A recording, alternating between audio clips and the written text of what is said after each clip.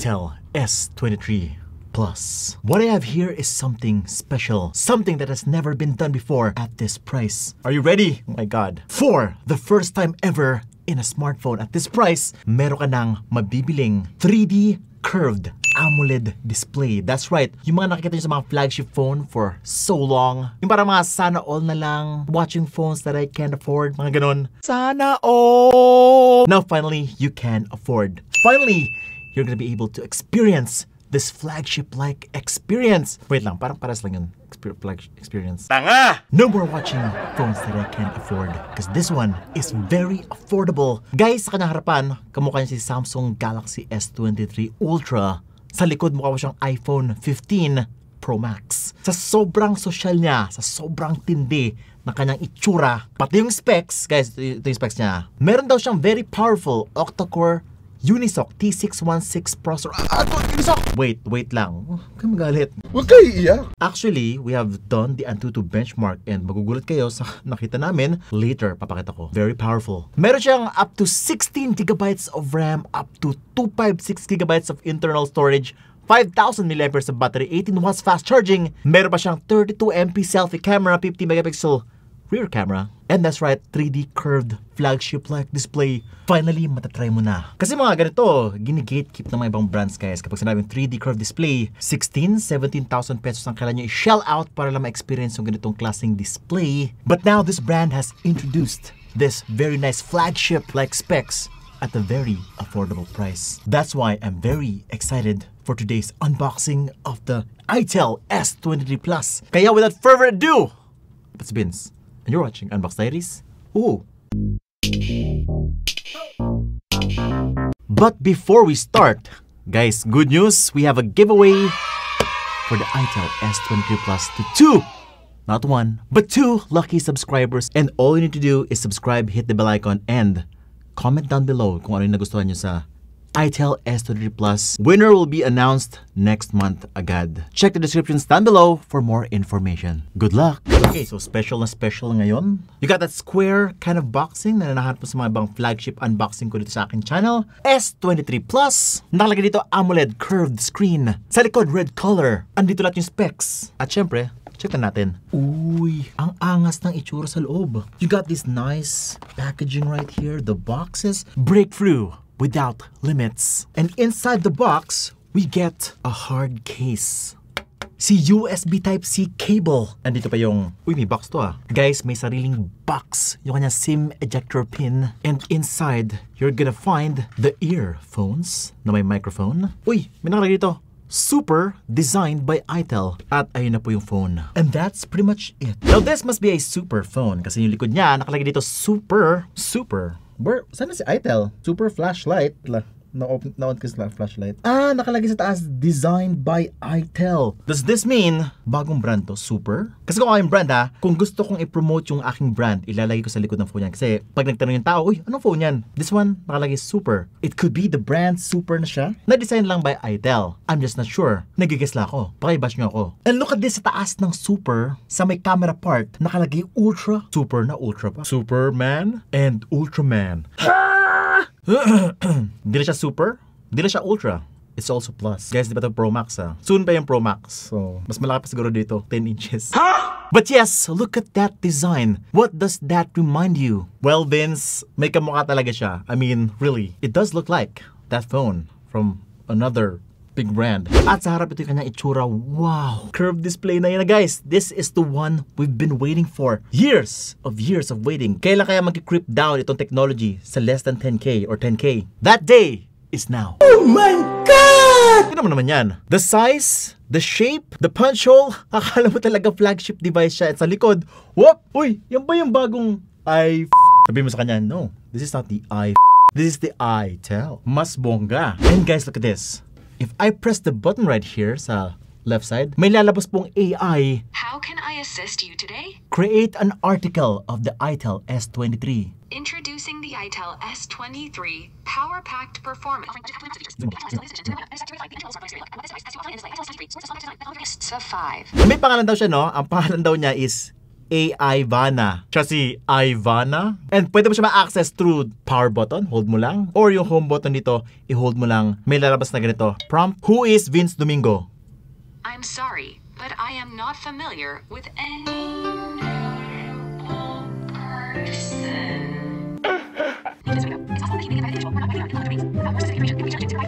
Is there anything else I can assist you with? Well, actually guys, ito po si ChatGPT na binaked in lang nila. Pero kanyang boss guys is iba, which they're calling Ivana or AI Vana. Hmm, sino kayo yung influencer na ganun yung pangalan? Ivana. Yeah, boy. Feeling ko if i-release nila to sa NBA, Iverson. Pero ito lang ah, for me, mas gusto ko si AI na lang sana yung bosses. Laugh for me. Laughs ha ha ha. Pero Vince, di ba may chat GPT na nada-download sa Play Store? Yeah. Oo, alam ko yan. Pero kasi pinagkaiba nito, baked in na siya dun sa phone. So when you get the phone, meron siyang shortcut, it's easy to access just like that.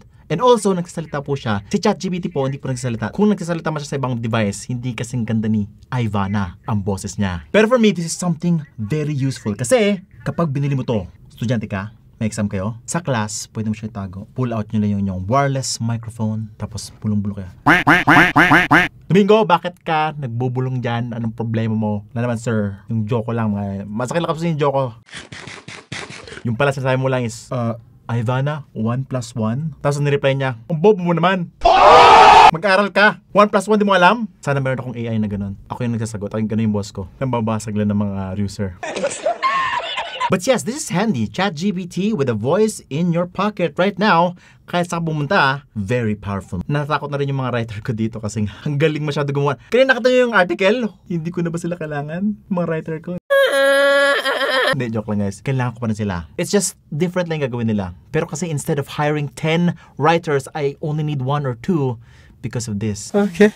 But going back, no, kasi nga, gusto ko lang para sa inyo yung si Ivana kasi siya yung sa mga nakakatuwang features itong phone na to. But yeah, the design is flagship-like. It looks like one of those flagship Android devices that you always see on my channel na ngayon, nag-creep down in technology sa entry-level pricing. You've got that symmetrical curved back design. It is symmetrical to the front display. Kung ano yung pagka-curve ng back, ganda yung kanyang curve sa harapan. Which creates that sexy, elegant look to it. Also, very thin ng phone. Grabe ka nipis, guys. Look at that. And very light. Halos wala. Oh, kita niyo yan? Oh, oh, wow. This phone feels like nothing. What? Ay, ibang, ibang brand pala yun. Pero sabi nyo ha, 5,000 milliamperes to. Wow, lupit naman. It's got that nice camera module sa back.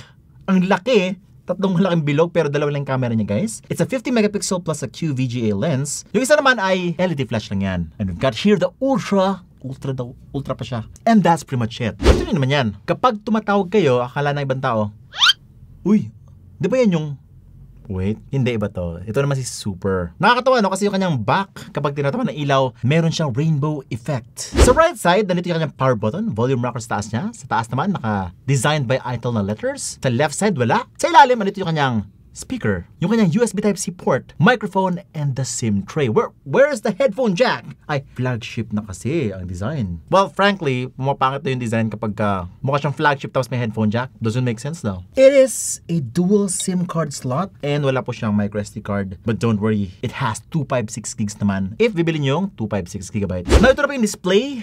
Baka kasi iniisip ng iba dyan na since mura siya masyado, baka 720p lang yan, Vince. No, it's legit. Full HD Plus 1080p display. And guys, AMOLED na po to. Is this SAMOLED? Kasi super, super AMOLED. Guys, hindi nyo ba naisip? AMOLED sa harap? Super AMOLED na siya. Iraulo. Hindi, joke lang. AMOLED lang yan. Na very bright yung display, kaya lang 60Hz lang po to. But it's very impressive. Siyempre, I can't complain that much na. For this price, impossible. Nobody else has provided this except I tell. And just like any flagship-like display, you will get a flagship-like experience kapag ginagamit mo na siya. From swiping sa display, from watching content, it feels like a flagship device. Ito na yung sinasabi ko lagi sa aking video at finally, may experience nyo na kasi abot kayo na po siya from social media. The content looks very sagad. Ang sarap po mag-scroll kahit saan. Pero dito talaga, dito kayo ma-impress talaga sa YouTube. Okay, so when you're watching movies or videos sa YouTube, oh my God, klarong-klaro and very immersive experience dahil nga ganito yung kanyang display. By the way, 93% screen to body ratio daw siya, which is Oh my God. Grabe naman yun. Ayun guys, oh, tingnan nyo. From left to right. It's like the video is overflowing dun sa kanyang gilid. How are they? able to do this. Kumikita pa ba si Idol dito? Ang feeling ko lang, gusto lang tumulong ni Idol. Gusto niya lang maging masaya ka. At ma-experience mo na ang matagal nang hindi na-experience ng ibang tao. Finally, they're giving you the power in your hands. Thank you for the love, Idol. When you're playing games on this thing, it's beautiful. Colors are nice, very punchy. Perfect yung colors for Mobile Legends kasi nga very vibrant yung colors dito sa game na to. Effects are much more pronounced. At ayun na nga, masagad tingnan. Pati mga buttons, oh, andun sa pinakagilid talaga. Nag-curve din yung mga buttons dito sa Mobile Legends. Oh, by the way, syempre gusto nyo malaman nyo kung gano'n siya kabilis. Tignan nyo to, ah. Sa kanyang settings, meron siya super refresh rate. What? Pero syempre ito gagana kasi hanggang 60 Hz lang po yung display. So it's saying might not be possible. Pero meron siyang ultra graphics right out of the box. Pero nakita ko si Antutu benchmark which is 300,000 points. Mga kaya naman niya mag-Mobile Legends at this kind of settings. Kaya naman bahala mag-judge no kung okay sa inyo. Pero for me, it looks quite good naman.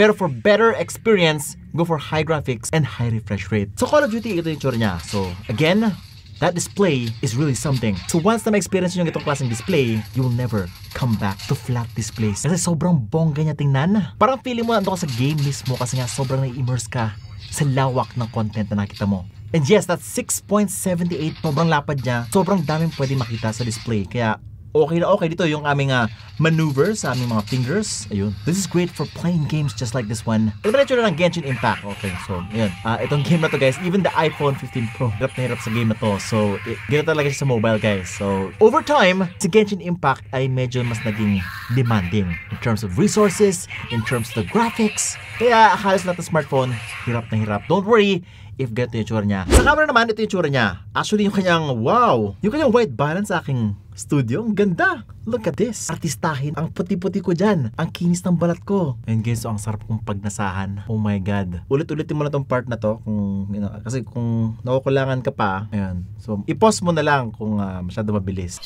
But yes, oh my God. Tinan mo yung mukha ko, may makeup. Meron siya beautification agad-agad. So kung ayaw mo yan, turn off mo yung AI para mawala. Pero ang ganda niya, promise. Especially sa mga girls. Ito si Beng ah. Kinis ni Beng, di ba? Parang meron siyang makeup. Fresh na fresh. Actually, haggard na ito si Beng. Marami na yung tigyawat. Post na post na yan. Pero dito guys, hindi nyo makita. Ang kinis po. Marami niyang peka sa mukha pero wala.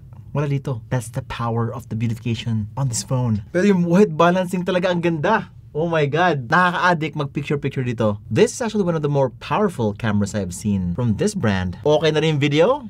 Ito yung video guys. Look at me. Ulit-ulitin mo yan.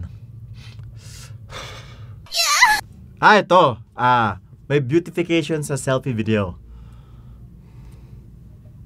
Oh, yes. Tama na! Oh, by the way, nakita niyo ba yun? Yung kanyang watermark is, hindi siya ITEL S23. It's Super S23 Plus. Whoa! And meron siya Super Night, hindi lang po sa rear, but also sa selfie. Wow, kompleto sa features. Ang pinaka-favorite ko dito is yung kanyang selfie camera. Reliable, sobrang nakakapogi. I can do this all day! Siyempre, the camera is not accurate, no? Uh, sa mga DSLR ka lang makita ng mga accurate colors and things like that. Pero, right out of the box, okay na po yung image quality ng mga pictures, ng mga videos. Okay na. Don't expect too much, no? Although flagship yung kanyang display, the cameras could be better. But in terms of yung competition, sa cameras niya, actually way above the others, next level po ang kanyang image quality. Guys, hindi ko pa sinasabi ang price, pero feeling ko bibili nyo na to eh. Ito na po yung price. Guys, get ready for this! 7,499 pesos lang po siya! 16 gigabytes na siya and 256 gigs of internal storage. So yun po yung kanyang SRP no, 7,499. But meron pa siyang sale price on October 5 up to 5,699 na lang po siya via Shopee vouchers. With that, you get freebies like ISW31 smartwatch or ITEL N75 open air air conduction earphone. Meron siyang bundle no, ITEL ICH 61 power brick and i678 glass screen protector per Shopee order. Grabe, ang dali i-memorize lahat nun. Kaya kung nakalimutan nyo pa yan, ewan ko na lang sa inyo. Hindi, wow. Kung gusto mo na siyang bilhin agad, go down sa descriptions box below. Ano pang hinintay mo? Super sulit na to.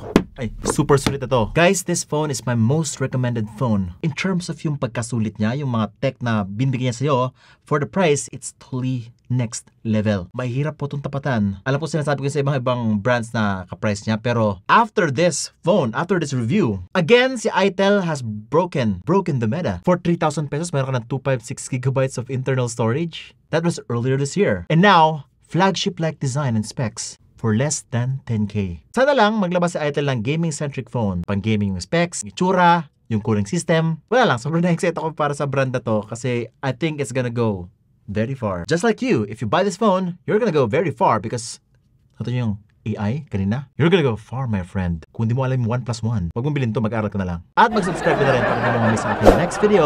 Para sa maganda, subscribe, hit the bell icon so that you don't miss any of my great content Bins and you're watching Unbox Diaries. Woohoo! Thank you.